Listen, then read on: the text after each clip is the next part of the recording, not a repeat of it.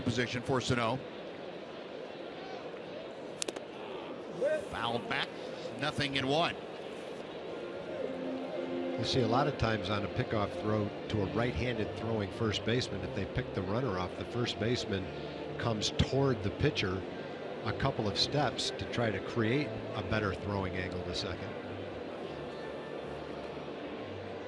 Matt Lucero, the Rangers assistant trainer out there to tend to Bobby Wilson. Bobby got that foul tip and now Jeff Banister is going to go out and assess the situation. Got a lot of padding on, but sometimes you not enough padding to cover everything. That got him right at the inside of the left ankle.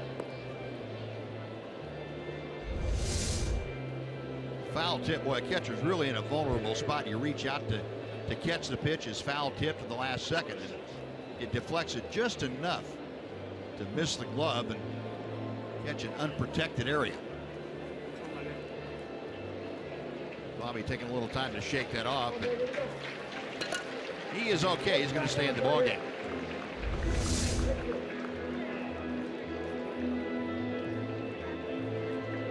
Ouch. It hit the umpire too.